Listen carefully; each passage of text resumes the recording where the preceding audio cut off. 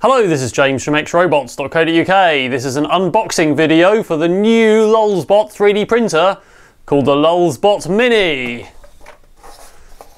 And there we go, let's have a look.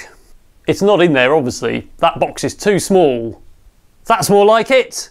So let's open the box.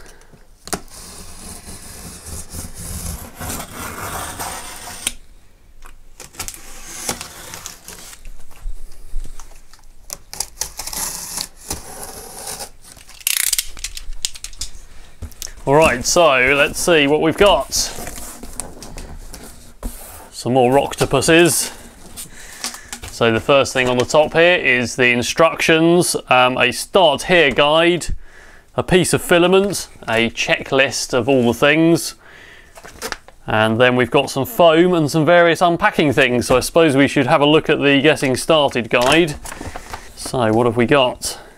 A Lulzbot sticker, We've got a rather nice diagram of the printer and the extruder there. A start here guide. So we've got quite clear instructions for the printer. There's a quick start guide, various things that come with it, and also the software which we'll look at in a moment, which in this case is the Lulzbot edition of Cura. And much, much more in the quick start guide. So let's get it out of the box and we'll work through that. So we'll take the top layer of foam off. There's some other foam blocks inside which are bracing the printer there we can see. So I'm just going to lift this out in one go.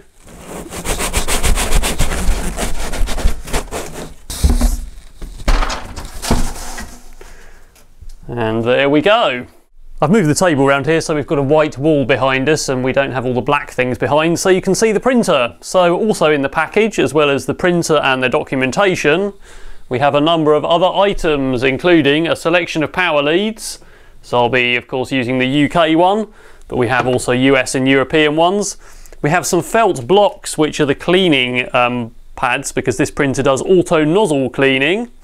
We have a Lulzbot Mini USB key the clam knife for removing prints from the bed, its protective cardboard thing, a small Allen key, some small pointy tools, a wire brush and a sharp thing, a pair of tweezers, a USB cable and also an octopus printed on this very printer. So let's have a look in the quick start guide. So the first page says make sure you read the safety sheet, which is this piece of paper, which um, says obviously it's a burn hazard because things get hot, um, a pinch hazard and so on. So that's worth reading, as well as the big green sheet, which is much more interesting. So let's go through this guide. So it says to unpack the printer, carefully remove the top protective foam. We've done most of that. Um, there's a diagram here about these foam blocks. Remove all of the foam and confirm everything on the packing list is included in the box. Save all of the packaging materials in case you need to print it. And the box is quite substantial. Those big blocks of foam will be quite useful as a flight case for taking it to exhibitions and so on. So we'll pull all these bits of foam out, which are just for transit. Let's see, there's some at the back as well. Yep. There we go. And these ones that uh, stop the other carriage moving. Alright, so that's actually it. The next thing is to download and install the software from the Lulzbot Mini USB key. So this printer um, does not have an LCD or um, SD slot on it. It's only got a USB cable, which is plugged in the front here, so we need to drive it from, from some host software. Let's just have a quick look at some of the other hardware features though. So my initial observation is the new Lulzbot Hexagon hot end. Don't know if you can just see that there, let's try and zoom in. Hexagon hot end with a fan on the cold end, which keeps the heatsink nice and cool. And this is in fact an all metal hot end, which can go right up to quite hot, probably over 300, possibly 400 degrees. So we can print things like nylon and we can print polycarbonate, which needs to be at least 300 degrees to extrude. Um, the previous hot ends only did about 230 or 240 degrees for ABS. And the reason there's a fan on the cold end is to stop um, all of the heat rising up and actually melting the extruder and melting the filament. So that's necessary for such a hot end to function. We've also got this quite nice cable thing that you sometimes get on CNC machines, which means the cables are nicely constrained along the carriage there. Um, the bed is a new surface, which is, I believe, a material called PEI, which is um, a new print surface. And this bed also levels, so as well as the foam block at the back there for cleaning the nozzle, we've got these conductive corners, um, and basically it brings the nozzle down till it touches and works out the uh, level of the bed, and then I believe it corrects it in software, which is quite innovative. The bed itself is mounted on these corners, which are actually 3D printed in NinjaFlex. Um, apart from that, the frame itself is, of course, extremely sturdy. It feels like steel. The electronics are in this box on the side here with a fan. Um, the USB connector is at the front with the power switch and the actual um, outlet power cable is at the back. Um, we've also got this arm here which folds right up and that's for putting your filament spool on.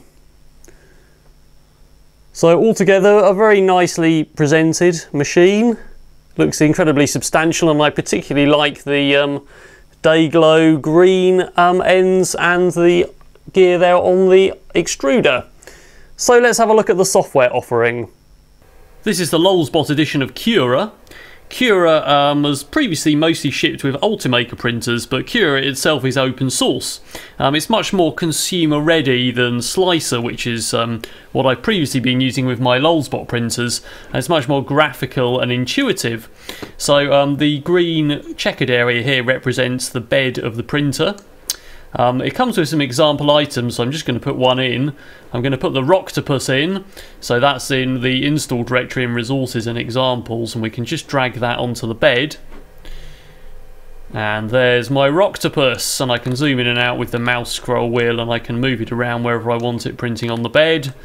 And I can move the bed around with the other mouse button, and I can arrange more items in here, so I could probably fit um, two of these or, or whatever or several items on the bed at once. So you'll see this little rendering thing here. So every time I make an adjustment, um, it's adjusting and telling me how long it's going to print, and it thinks that's going to be 30 minutes. Uh, 0.79 meters of filament, which will weigh 6 grams, and that's in normal print quality mode. So I've got these quick print profiles here, so I can select the material as uh, maybe ABS, and I can say whether I want support material and so on and I can say whether I want it in high, normal or fast print quality.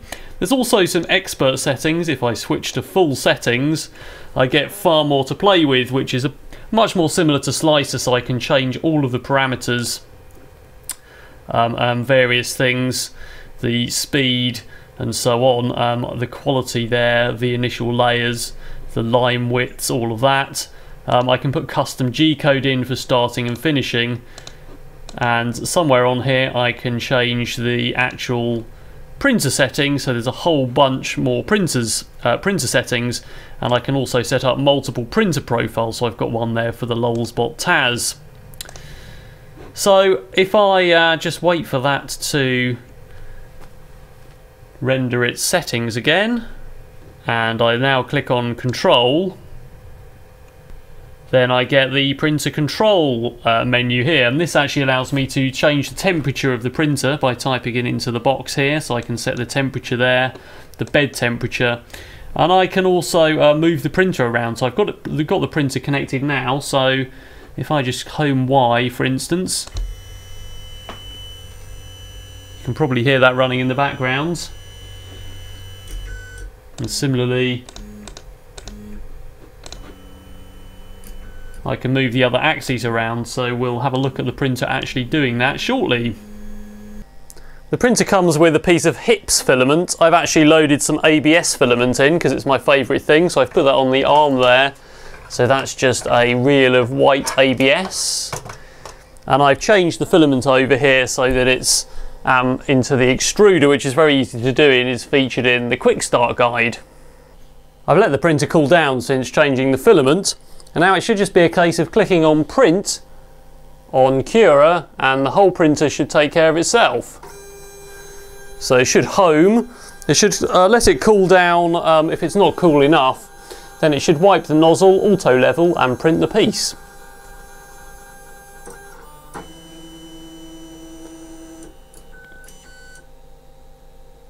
So it's actually heating the nozzle up now slowly to presumably a temperature that it can wipe excess filament off at.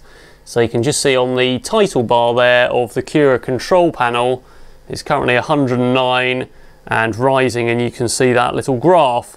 So we'll wait for that to get a little bit hotter and we'll see what it does next. So it got to about 160 degrees and it's now bringing the nozzle down, presumably to wipe on that bit of firm uh, felt that's at the back there. So let's just zoom in on that. There we go, cleaning the nozzle. And remember it comes with those spare pads for when those uh, when that gets full of filaments. And now what we should find is that it goes and touches each corner. So we've got these conductive washers. So it brings it down very, very slowly till it touches and that conducts electricity of course. So then it goes off to each corner so that it can level the bed and work out if it's not level. Makes quite a pleasing sound doesn't it? A bit like an Iron Man suit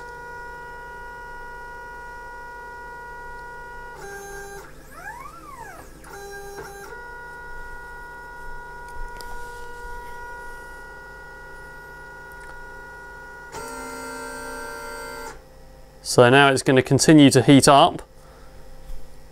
It's about 170 and needs to go up to um, 240 for ABS and it needs to heat the bed up to about 110 so that's going to take a couple of minutes. And off it goes, so it's now bringing the print head down and it should be starting to print. There we go.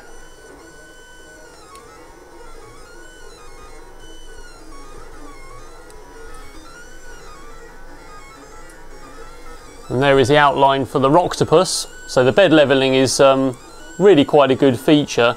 Um, I don't have to level the bed on the Taz too often, but um, this is pretty good because obviously the bed parts expand when they get hotter and colder. So um, eventually it's going to creep a little bit. So it's really good that it levels in every print and gets rid of any errors at all. So it's going pretty fast. It's uh, practically throwing that filament out. So you can see the um, perimeters of the piece being done there. So yeah, that infill, it's uh, doing still the bottom layers, which I think are solid infill, but it's going pretty quick. And we can see the progress being reported along the bottom here. So I guess that's about 15% done, which is probably hopefully a representation of total print time, but we'll see how that works out.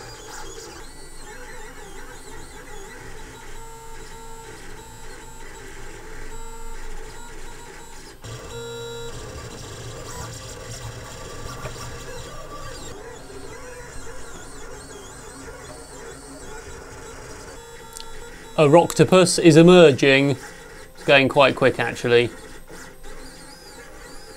Note that as well as the hot end fan, which keeps, well, the, keeps the cold end cool, there's also a cooling fan uh, with this kind of baffle thing which blows cold air on the print when it's needed. Um, and that's turning on and off automatically, so um, basically that's really good for doing detail parts like the hand of the Rocktopus which is sticking up.